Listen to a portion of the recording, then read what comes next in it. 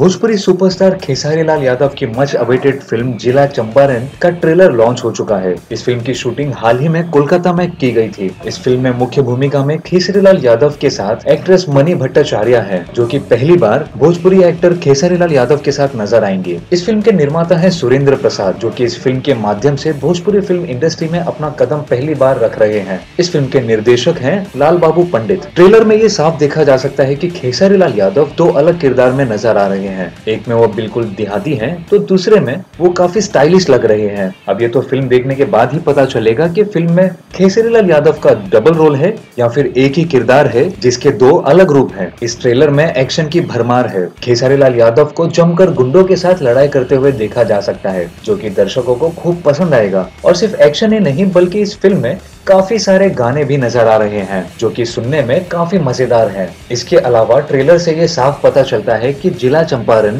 बहुत ही अच्छी फ़िल्म है और साथ ही साथ पारिवारिक फ़िल्म है। इस फ़िल्म की कहानी काफ़ी अलग है और काफ़ी आकर्षित करने वाली है, जिसमें देश के आज़ाद होने के बाद की कहानी है। तो आप भी देर ना करते हुए फ़िल्म का ट्रेलर ज़रूर देखें।